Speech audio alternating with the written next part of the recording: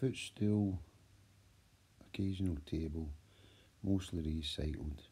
Seven two litre plastic bottles, empty, lids on them. Two circles, three millimetres by 12 inches, bottles glued together. Each piece of wood glued to the top and the bottom.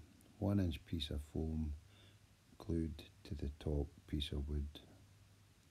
Then covering material, any material of your choice. I like tartan. So it gives you a nice finish. You would just glue it under the bottom as well and add a bottom piece.